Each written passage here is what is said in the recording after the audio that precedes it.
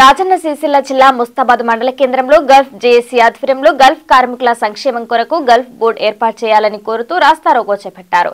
ఈ సందర్భంగా Gulf board రాష్ట్ర ప్రధాన కార్యదర్శి తోట ధర్మేందర్ మాట్లాడారు. గల్ఫ్ కార్మికుల సమస్యలు వెంటనే గల్ఫ్ కార్మికుల సమస్యలు వెంటనే ఈవన్ ఈవన్. గద్ద దిగాలి. గద్ద దిగాలి. కేసీఆర్ మోడీ! కేసీఆర్ మోడీ! కల్పోటు అమలు చేయాలి అమలు చేయాలి ఇచ్చిన హామీ ప్రకారం కల్పోటు ఇచ్చిన హామీ ప్రకారం ఐదు వందల కోట్ల బడ్జెట్ కార్మికులకు వెంటనే అమలు చేయాలి అమలు చేయాలి ఐదు వందల కోట్ల బడ్జెట్ కేటాయించాలి కేసీఆర్!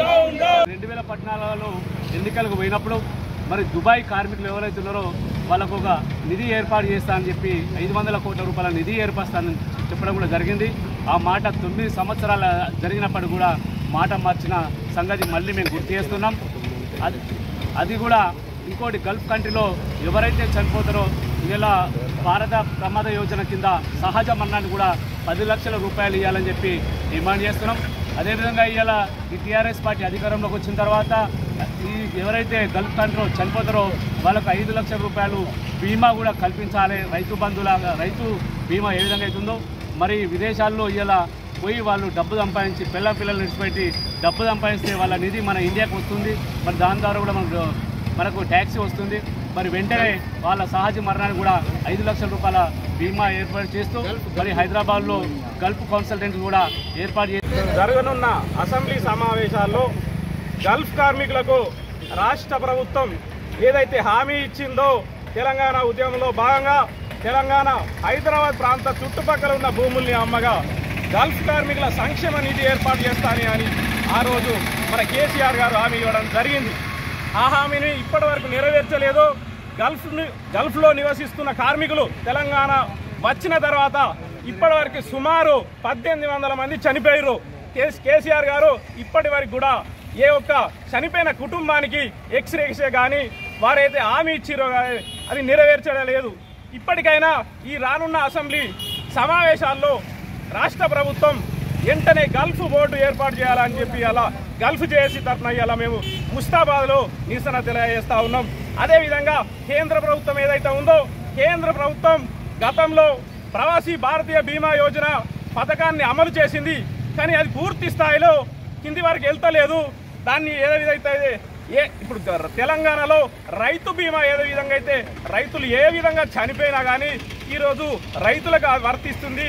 అలాగే విదేశాల్లో చనిపోయిన ఏ కార్మికునికైనా ఏ విధంగా చనిపోయినా కానీ ఇలా ప్రవాసీ భారతీయ బీమా యోజన వర్తింపజేయాలి అని చెప్పి ఇలా మేము కేంద్ర ప్రభుత్వం మీద డిమాండ్ చేస్తా ఉన్నాం.